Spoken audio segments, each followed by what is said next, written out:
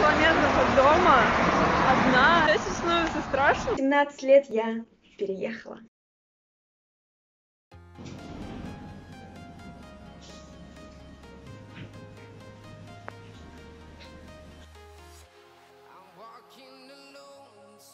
Пол первого ночи, людей стало меньше.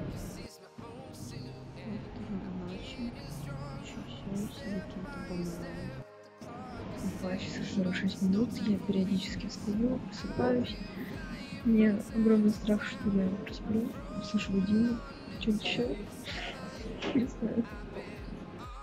5.20, в Екатеринбурге уже 7.20. Иду, и мне дико страшно, непонятно вообще, что происходит, что делать. Как бы так все странно, ну, не как обычно. Всем привет, с вами та самая Лена, которую вы смотрите уже на протяжении 8 лет. Да-да, это реально я, и мне 17 лет, я бросила школу, зарабатываю с 9 лет, первый бизнес открыла в 12. Начала путешествовать сама, без родителей в 17 лет. И также в 17 лет я переехала. Переехала туда, куда я хочу. И нет, это не видео с красивой картинкой, это не видео, где я вам расскажу, покажу, как все классно, как все идеально, как у меня все легко получилось. Нифига. Это был довольно долгий путь. Вообще, каждый день я совершенствуюсь, каждый день я становлюсь лучше. И очень много боли, особенно в этом году, я прошла. Это выглядело как какая-то черная полоса, потому что это просто не заканчивалось. Постоянно какая-то фигня происходила в жизни, и я просто это все не освещала, и об этом никто не знает, но знаете, что это просто жестко. И идеальной картинки не бывает. Ну что ж, а я вам расскажу о своем переезде. 1 декабря, закончив писать итоговое сочинение, я принялась собирать вещи, потому что я уезжала. Где-то вечером я уже была в Москве, ну, ближе к 12 ночи. У меня была пересадка 9 часов, то есть это целую ночь. Я была в аэропорту Домодедово одна. Это мой первый такой опыт. Но, как видите, я доехала. Прилетела я, значит, в Сочи. Электричка была где-то из аэропорта через пару часов, а из Адлера по-моему, через час я такая, блин, ну, у меня есть целый час, я могу как бы дойти до Адлера, тут, тут недалеко показывает. Не знаю, я прилетела уже полтора часа назад, и все никак не могу отойти дальше аэропорта, вон он. Это все потому, что тут очень странное все. Я не могу дойти даже пешком, поэтому я буду ждать электричку в аэропорту. Иду обратно в аэропорт. Я тоже не понимаю, как туда прийти по-быстрому, поэтому я опять все обхожу. Да, буду ждать электричку уже оттуда, потому что, ну, я не знаю, я ничего не поняла. Короче, половина километров от дома, одна, и не знаю, отчасти становится страшно, потому что, ну, хер знает вообще, что, что будет. С другой стороны, я так этого хотела. А, Как вы понимаете, я никуда не дошла, просто потому что я не смогла понять, как мне дойти из аэропорта до Адлера. У меня нифига не получилось, там просто никак не пройти. И у меня уже какая-то, уже какие-то странные эмоции были по этому всему поводу. Не прыгайте с пассажирской платформы на железнодорожный поезд. Знаете, это место, в которое я приехала, это как поселок, но это часть Сочи, и он выглядит просто как поселок, но тут есть такое вот чудо техники. Даже в Екатеринбурге такого нет. Ну, Посмотрите, ну реально вот как, как это, как село. Думала сначала, что это поселок, а это, оказывается, микрорайон Сочи. Последние штрихи мне осталось дойти до заселиться, наконец-таки уже, я не знаю, я полдня сюда набиралась.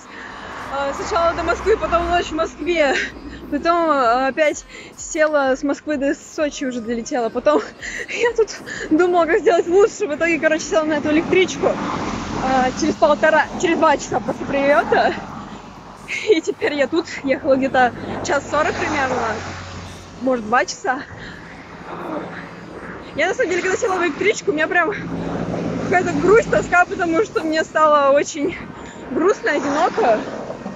Я прям вообще в каком-то шоке была, типа, что происходит. А сейчас я, наоборот, стала радостная. Познакомилась с девочкой, она учится в Сочи, ездит сюда и обратно. Живет, короче, тут вот. Тут вот, не знаю. Блин, ну смотрите, какие природа. Какие природа все-таки. Ну там горы.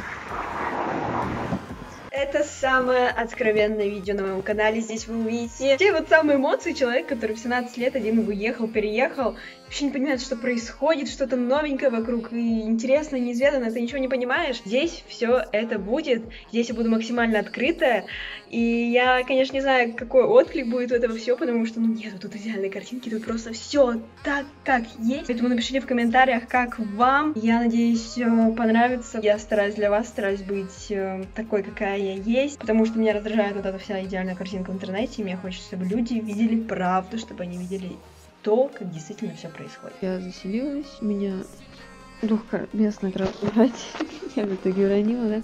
Потом приезжайте. Пока что не обосновалась, я вообще не знаю, что будет, что я буду делать, как тут вообще что будет.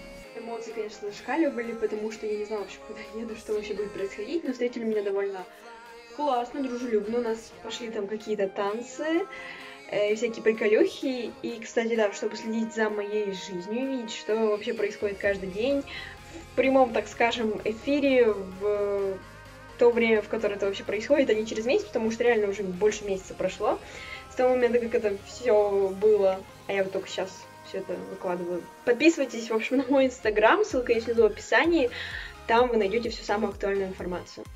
Ну не думайте, что жизнь цветочки, и все было классно, когда я шла пешком довольно-таки э, так прилично от электрички с рюкзаком, это такие странные ощущения, когда ты так вот идешь и прям, ну не знаю, как ты подустал, жарко, солнце светит, какие-то прям странное ощущение, потом прихожу, просто нет одного человека, я не понимаю, куда идти, что делать, я захожу не в ту сторону, потом понимаю, что вроде покажете тут, но как бы вроде не тут.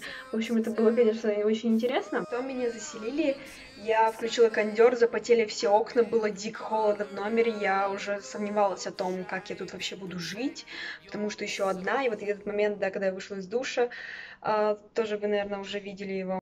Окна в пол были, типа, вроде с неплохим даже видом. Тут я вижу на своей подушке, то есть холодно все это, все и так не очень классно. Я вижу жука какого-то, то есть непонятного. Я думаю, это что такое?